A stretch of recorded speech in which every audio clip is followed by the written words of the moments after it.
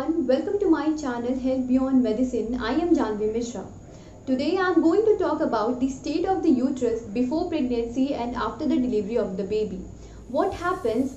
We all know very well that during pregnancy our body prepares itself to develop the fetus in the uterus. That's why there is increment in the size as well as weight of the uterus. Before pregnancy, the weight of the uterus is about 60 to 70 gram and after the delivery of the baby, it becomes 1000 gram. Why this happens? Because during the pregnancy, there is increment in the size as well as in the number of the myometrium muscles fiber of the uterus.